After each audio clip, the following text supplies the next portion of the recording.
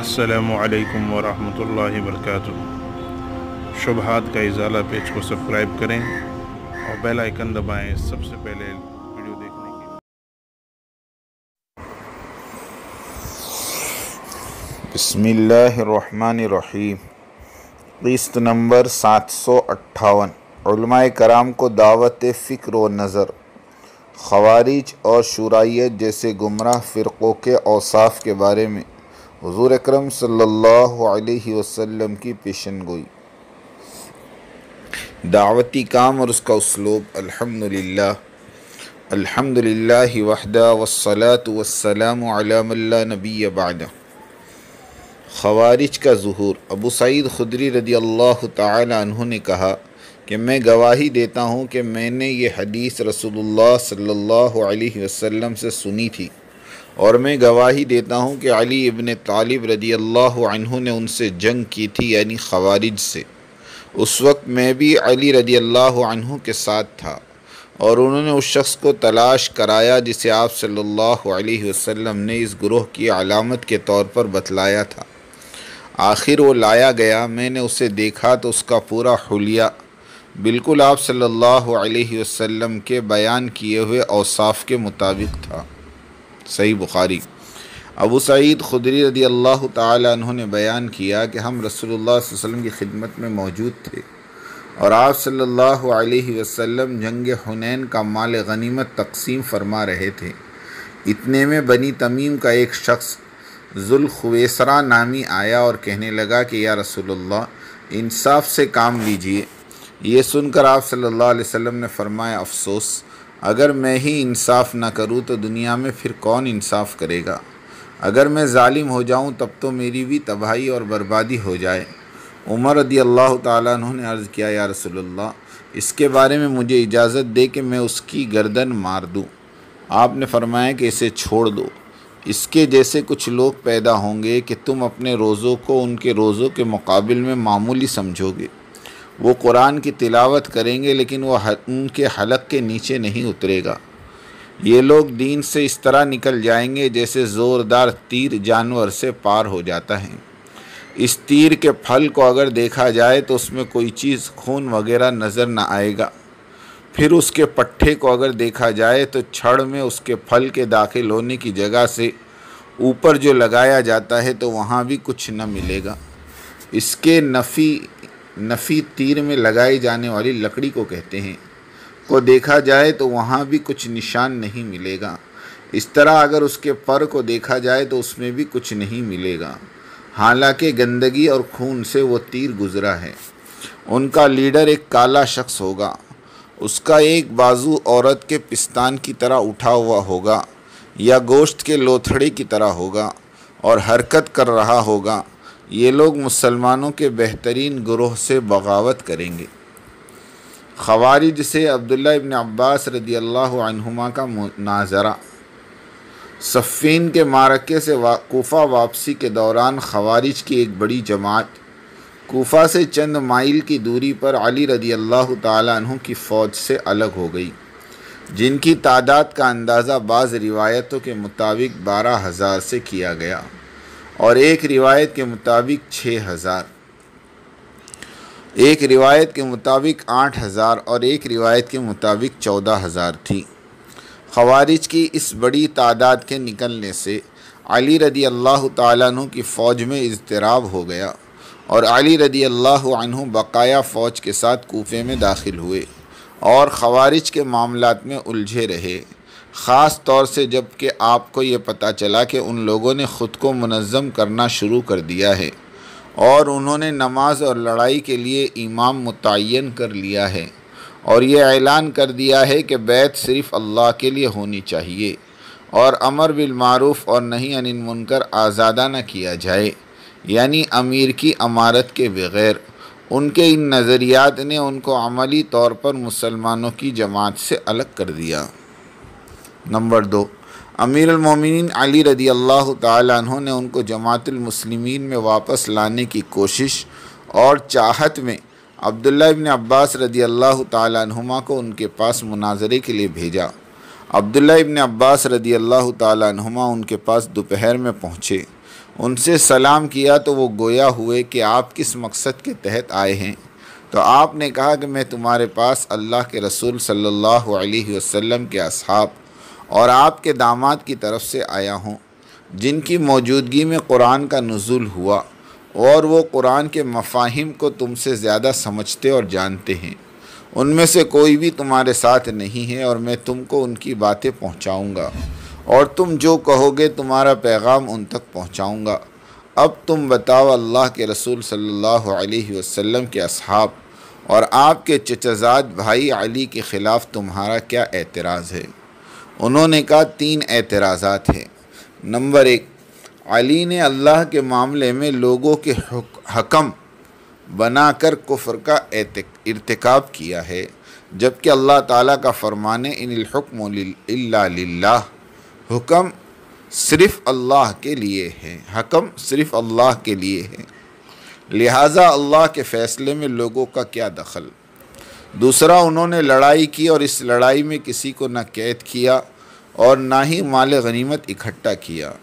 अगर ये लड़ाई काफिरों से थी तो फिर उनको कैद करना चाहिए था। और अगर मोमिनों से लड़ा गया था तो उनसे लड़ाई जायज़ नहीं थी। तीसरा, उन्होंने अपने नाम के सामने से अमीरमिन का लफ्ज़ मिटा दिया। लिहाजा वो काफिरों के अमीर हुए। अब्दुल्ला इब्न अब्बास रदी अल्लाह तुमा ने उनसे पूछा कि और कुछ या सिर्फ़ इतना ही? तो उन्होंने कहा, हमारे लिए इतना ही काफ़ी है। फिर आपने उनसे कहा कि अगर मैं तुम्हारे एतराज़ात का अल्लाह की किताब और उसके नबी की सुन्नत से जवाब दूँ तो क्या तुम उसे कबूल करोगे? उन्होंने कहा हाँ। अब्दुल्ला इब्न अब्बास रदी अल्लाह ताला का जवाब देना शुरू किया। फरमाया कि अल्लाह के हकम में लोगों को हकम बनाने की जहाँ तक बात है तो मैं तुम्हें अल्लाह ताला का फरमान पढ़कर सुनाता हूँ। जिसमें अल्लाह ताला फरमाते हैं। जिसमें अल्लाह ताला ने एक चौथाई दिरहम की कीमत में लोगों को हकम बनाया है और उन्हें हुक्म दिया है कि वो इसमें फ़ैसला करें। या अयोहल्लिन आमनु, ला तख्तलसैद वन तुम हरूम वमन कतल मिनकुम मुतमदन फ़जा मिसलमा कतल मिननाम यहकुम बिही जवा अदल मिनकुम ईमान वालो हालत हराम में वहशी जानवरों का शिकार मत करो और जिसने जानबूझकर उसको कत्ल कर दिया तो उस पर फिदिया वाजिब है। जो कि कत्ल किए गए जानवर के मसावी होगा, जिसका फ़ैसला तुम में से दो मोतबर शख्स करेंगे। अब मैं तुमसे अल्लाह की कसम देकर पूछता हूँ कि लोगों का खरगोश वगैरह के शिकार में फ़ैसला करना अफजल है या लोगों को खून को बचाने और उनकी खैर व भलाई में फ़ैसला करना, जबकि तुम्हें मालूम है कि अगर अल्लाह ताला चाहता तो ख़ुद फ़ैसला कर देता और लोगों को इसका ज़िम्मेदार नहीं बनाता। तो उन लोगों ने कहा कि आपकी ये बात ज़्यादा बेहतर है। फिर आपने कहा कि इसी तरह अल्लाह ताला औरत और उसके शोहर के बारे में इरशाद फरमाता है।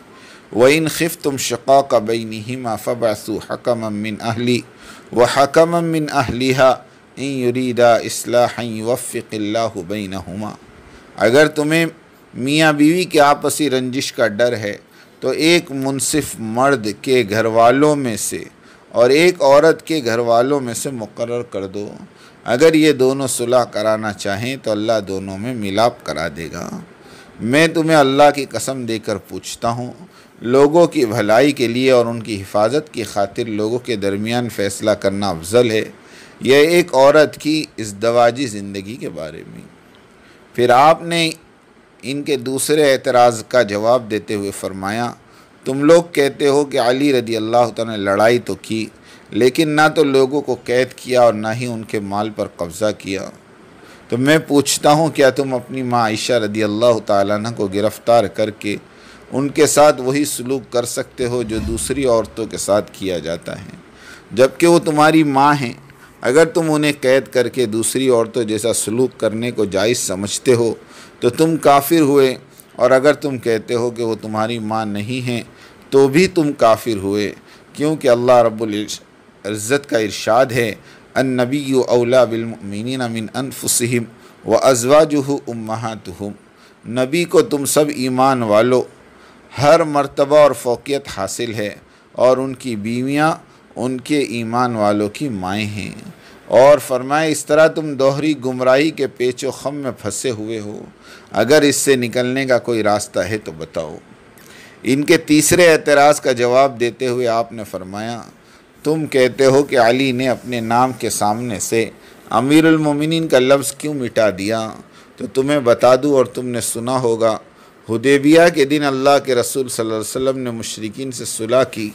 और अली रदी अल्लाह फरमाया, लिखो, ये वो अहदनामा है जिस पर मोहम्मद रसूलुल्लाह सल्लल्लाहु अलैहि वसल्लम ने इत्तेफाक किया है। तो मुशरकिन ने कहा, अल्लाह की कसम हरगिज़ नहीं। अगर हम जानते कि तुम अल्लाह के रसूल हो तो तुम्हारी इतात करते और उसकी जगह मोहम्मद इब्न अब्दुल्ला लिखो। इसके बाद आपने अली रदी अल्लाह तु से फरमाया, इसे मिटाकर मोहम्मद इब्न अब्दुल्ला लिखने को। अल्लाह की कसम, अल्लाह के रसूल अली रदी अल्लाह से बेहतर है और आपने ख़ुद अपने दस्त मुबारक से लफ्ज़ रसूलुल्लाह मिटा दिया और आपके इस मिटाने से आपकी नबूत नहीं मिट गई। अब्दुल्ला अब्बास रदी अल्लाह तुमा के इस जवाब से दो हज़ार खारजी लोग ताइब हो गए, यानी तोबा कर ली और बाकी अपनी गुमराही पर कायम कोफा से निकल गए। और इसी नज़रिए पर हलाक हुए, जिनको अनसार और महाजरीन ने कत्ल किया। शुराइत और ख़वारिज, बातिल नज़रियात वाले बातिल फ़िरक़े, हमेशा से इज्तमाहीत यानी उम्मत मुस्लिमा की जमात को छोड़कर भागते रहे हैं, ताकि उम्मत मुस्लिमा में फूट डालें और उम्मत मुस्लिमा के शिराजे को तितर बितर करके छोड़े। जब उन्हें हक़ की तरफ़ और जमात मुस्लिमीन से जुड़ने की तरफ़ बुलाया जाता है तो ये हमेशा से शर्तें रखते आए हैं। जिस तरह ऊपर पढ़ते आए हैं कि खवारिज ने तीन शर्तें रखी थी, इसी तरह फ़िरक़ शुराइत वाले भी तीन शर्तों वाले खवारिज के नज़रियात और फार्मूले पर डटे हुए हैं। जैसा कि ये शर्त मुनज़ल मिनल्ला हैं। शराइत नंबर एक, मौलाना साद साहब अमीर ना हो। नंबर दो मरकज़ निज़ामुद्दीन में पाँच फ़ैसल हो जो बदल बदल कर फ़ैसले दें। नंबर तीन शुराइत वाले कम्युनिस्ट निज़ाम को कबूल करे। अलायाज़ुबिल्ला तहरीफ़ व तदलीस। रिवायत और कौल हज़रत अली रदी अल्लाह तु जब तुम किसी मसले में उलझ जाओ और उसका हल किताब व सुन्नत में पाओ तो ऐसे वक्त में तुम अपने वक्त के सुलह और नेक लोगों से रहबरी हासिल करो और उनके मशवरे पर अमल करो। इस रिवायत को या असर को दलील और सनद बनाकर मौना इब्राहिम देवला साहब ने फ़िरक़ शुराइत की दागबेल डाली और दावा किया कि शुराइत के अरकान साले और नेक लोग हैं, अल्लाह वाले हैं। इसलिए उनके अकवाल और आरा की रोशनी में हमने आलमी शुरा बनाई। मौलाना इब्राहिम साहब देवला मदल्लू की ऑडियो कैसेट और बयान को दुनिया भर में सुना गया। जवाब अल्हम्दुलिल्लाह, इस वक्त इल्म दीन और उसके माखज़ किताब और सुन्नत इस कदर वाज और मुतशर हैं कि कोई फ़ितीन इस बाग मुस्तफ़ी में रत्ती बराबर की रखना अंदाजी नहीं कर सकता। ना ही कुरान और हदीस के मतालिब बयान करने में गलत बयानी की जसारत कर सकता है। इसलिए कि मौजूदा वक्त में अमारत और अमीर और मरकज़ियत से मुतक अहकाम और मसाइल से किताब व सुन्नत भरे पड़े हैं। हर ज़बान में तराजिम मौजूद हैं। तो फिर नेक और सौले लोगों की आरा और उनके मशवरों की कोई हाजत बाकी ही कहाँ रह जाती है? किधर कुरान और हदीस की मुस्तनद बातें और अहकाम और किधर सुलह और नेक लोगों के नज़रियात और मशवरे? ये तो आब आमद तयम बर्खास्त वाला मसला है। जिस तरह पानी की मौजूदगी पर तयम का कोई जवाज़ बाकी नहीं रहता इसी तरह किताब व सुन्नत और सीरत तय्यबा के होते हुए, किसी भी बुज़ुर्ग, सौले और शेख तरीक़त की बात की कोई वक़्त और अहमियत बाकी नहीं रह जाती। मसला अमारत अमीर किताब व सुन्नत और सीरत से साबित हैं, इसलिए उसको अपनाना फ़र्ज़ है। और शुराइत इस्लाम के बरक्स सीहोनी और कम्युनिस्ट निज़ाम होने की वजह से उसको रद्द करना फ़र्ज़ है। शुराइत को अपनाना, उसकी दावत देना, उसकी हिमायत करना और उसके ईजाद करने वालों की इज़्ज़त और तकरीम करना सरासर हराम है। बेदीनी है, मुदाहिनत है जंदीकियत है। मसला बिदाती की तज़ीम करना ऐसा है जैसे इस्लाम को ढाने और उसे ख़त्म करने में मदद करना।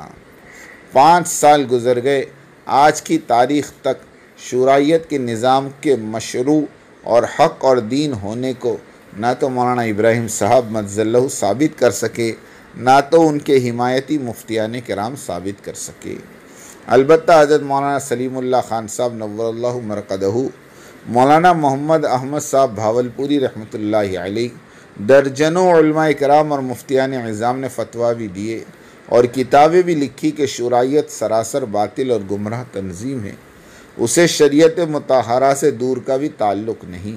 जिन्हों जिसे हमने अपनी किस्तों में शरह व बसत के साथ पूरे वसूक और दलाइल से वाज तौर पर साबित किया। इस फ़िरक़ शुराइत की कड़ी फ़िरक़ खवारिज और अवाफिस से मिलती है, जिस तरह मस्कूरा दोनों फ़िरक़े अमारत और अमीर के दुश्मन थे, इसी तरह शुराइत का हाल है, और जिस तरह खवारिज के चालीस के लगभग शाखें बनी, इसी तरह शुराइत की भी कई शाखें बनेंगी। मसलन भरूची शुरा, गोधरवी शुरा, पालनपुरी शुरा बेंगलोरी शुरा, अलीगढ़ी शुरा रायवंड की शुरा, बांग्लादेश की शुरा वगैरह वगैरह। इसकी वजह यह कि इतात की नेमत से महरूमी के बाइस तो इस फ़िरक़े शुराइत के लोग अमीर और अमारत को खैरबाद किया। जिन्होंने असली अमीर को छोड़ा, वो लोग नकली अमीरों को क्यों कर खातिर में लाएँगे? अलबत्त ये हो सकता है कि ख़ुद अमीर बन बैठे और बन बैठेंगे, मगर शुराइत वाले हकीकी अमारत अमारत मरकज़ निज़ामुद्दीन को तस्लीम करे और शुराइत से तोबा करे, ऐसा मुमकिन नज़र नहीं आता। इसलिए कि ये लोग अपने आकाओं को नाराज़ नहीं कर सकते, इसलिए कि वो उन पर बिल हिसाब माल खर्च किए हैं। अब अल्लाह ताला ही अपनी कुदरत से उनके दिल फेर दे तो फेर दे, बाकी इसबाब और दलाइल से ये लोग बदलने वाले नहीं हैं। अल्लाह तमाम इंसानियत की अमूमी हिदायत के फ़ैसले फ़रमाएँ आमीन।